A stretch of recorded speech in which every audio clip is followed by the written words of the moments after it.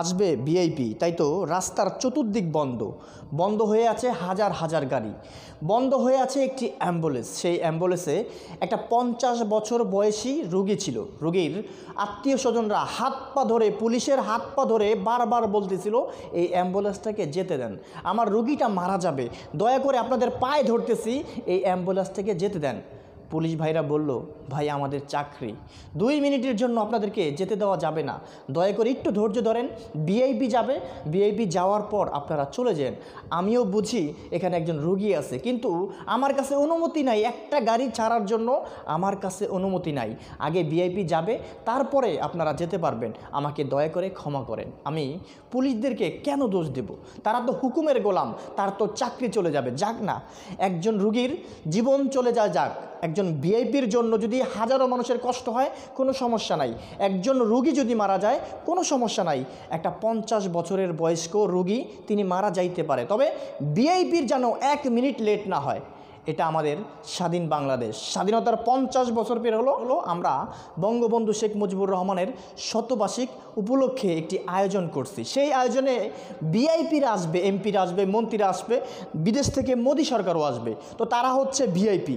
তাদের জন্য আমাদের দেশে কোটি মানুষ যদি জীবন দেয়, তাও কোনো সমস্যা নাই। আজকে আমি খুব আফসোস রেখে কথাগুলো বলতেছি।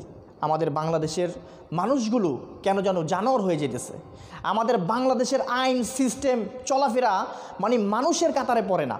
মানুষরা এই আইন ব্যবহার করতে পারে না। আজকে ভিআইপিদের জন্য একটা অ্যাম্বুলেন্সকে আটকে রাখা হয়েছে। একজন রুগী তার জীবন মৃত্যুর পর্যায়ে দাঁড়াইয়া বারবার মিনতি কইরাও সেই অ্যাম্বুলেন্সটাকে ছাড় দেয় নাই। আমি পুলিশ ভাইদেরকে কোনো দোষ দেব না। এটা আমাদের সিস্টেম। বিআইপির জন্য মানুষ মারা যাবে। বিআইপির জন্য একজন শিক্ষার্থীর স্কুল কলেজে যেতে পারবে না। বিআইপির জন্য একজন চাকরিজীবী সময় মতন তার কর্মস্থানে যেতে পারবে না। বিআইপির জন্য মানুষ দরকারি কাজে রাস্তায় দুই তিন ঘণ্টা দাঁড়িয়ে থাকবে। এটা আমাদের উন্নত দেশ উন্নত দেশের সিস্টেম এটাই। আমি খুব কষ্টের সাথে কথাগুলো বলতেছি। কিসের মানে বঙ্গবন্ধু শেখ মুজিবুর রহমানের শতবার্ষিক উপলক্ষে কিসের রাস্তা আটকে দিয়েছেন আপনারা?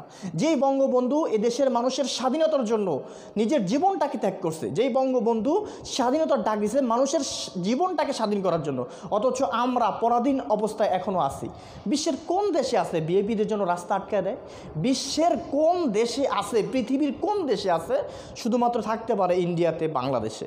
এছাড়া আমার কাছে মনে হয় যে বিআইপিদের জন্য রাস্তা আটকে দেয় পৃথিবীর কোনো দেশে নাই। আমরা এখনও পরাধীনই আছি। আমরা কাদের কাছে স্বাধীন হইলাম? আমরা পাকিস্তানের কাছ থেকে আমরা আমাদের দেশটাকে স্বাধীন করলাম, অথচ নিজের দেশের সরকার, নিজের দেশের সরকার ব্যবস্থা, নিজের দেশের আইন শৃঙ্খলা বাহিনীদের কাছে, নিজের দেশের আইনের কাছে আমরা বন্দি। এটা স্বাধীনতা বলে না। বিআইপি আর সাধারণ মানুষ এর ভিতরে মানে এই দেশের জনগণ বিআইপি নাকি এমপি মন্ত্রীরা বিআইপি বাংলাদেশের কোন সংবিধানে লেখা আছে যে বিআইপিদের জন্য রাস্তা বন্ধ করে রাখতে হবে? বাংলাদেশের কোন একটা সংবিধান আমাকে দেখাতে পারবেন? এমপির জন্য, প্রধানমন্ত্রীর জন্য রাস্তা আটকাইয়া, দেশের মানুষকে কষ্ট দেয়া মানে এক একটা সেকেন্ডের কতটুক মূল্য? একটা ব্যক্তি, যে ব্যক্তি গাড়ি নিয়ে দাঁড়িয়ে আছে, তার জীবন থেকে যদি একটা ঘণ্টা ব্যয় হয়, এই একটা ঘন্টায় তিনি কত কিছু করতে পারতো। এক হাজার লোক যদি এইভাবে রাস্তায় আটকায় থাকে, প্রত্যেকটা ঘণ্টার, প্রত্যেকটা মানুষের কতটুকু মূল্য, এই হিসাব যদি আমরা করি, তাহলে আমাদের দেশের মন্ত্রীকে, আমাদের দেশের বিআইপিদেরকে হাজারবার কিনতে পারবে এই সময়ের মূল্য দেওয়া একটা মানুষের এক ঘণ্টা একশো টাকা লস হতে পারে, একটা মানুষের এক ঘণ্টা এক হাজার কোটি টাকা লস হতে পারে। কি হিসাব করতেছেন আপনারা? একটা লোকের জীবন চলে চলে যেতে পারে। একটা আমি বারবার মানে এই একটা কথা বলতে চাই। একটা অ্যাম্বুলেন্স যখন আমরা রাস্তায় দেখলাম যে বিআইবিদের জন্য এই অ্যাম্বুলেন্সটাকে আটকে রাখা হয়েছে, তখন আমি মানে নিজেকে মানাইতে পারতেছি না যে আমি কোন দেশে বসবাস করতেছি। যেই দেশে বিআইপিদের মূল্যর জন্য সাধারণ মানুষের মূল্য নাই। আর এই দেশে গরিব গরিব থাকবে না, কোন দেশে গরিব হবে? এই দেশে গরিবদেরকে উঠতে দেওয়া হইতেছে না বিআইপিদের কারণে। আরে ভাই, আমি বুঝি না বিআইপিটাকে এমপি মন্ত্রীরা ভিআইপি ওরা চেটের বাল চেটের বাল।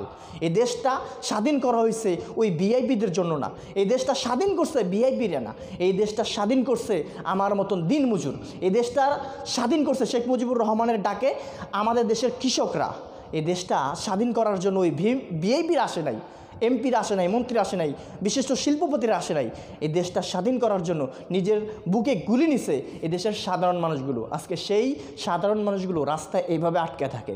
আজকে সেই সাধারণ মানুষগুলো রাস্তায় অ্যাম্বুলেন্সে ভিতরে মৃত্যুর শয্যায় পড়ে থাকে, পুলিশের পায়ে ধরেও পুলিশ তাদেরকে ছাড়ে না। আসলে পুলিশকে আমি এখনও বলতেছি, পুলিশকে দোষ দেওয়া কোনো লাভ নাই। উপর থেকে কল আছে একটা গাড়িও যেন যেতে না পারে। আরে বিআইপি আসবে, একটা গাড়িও যেতে পারবে না। তাই আমি মানে এই যে স্বাধীনতার পঞ্চাশ বছর, এই পঞ্চাশ বছরে আমরা যে পরাধীন আছি, সেটা আমি পরিষ্কার ভাষা বলতে চাই, আমরা স্বাধীন হই নাই।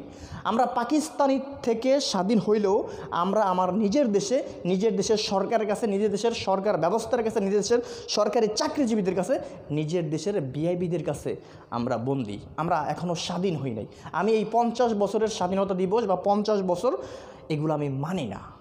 বাস এক কথাই আমার কাছে এক কথাই এই পরাধীনতার জীবন আমি মানি না।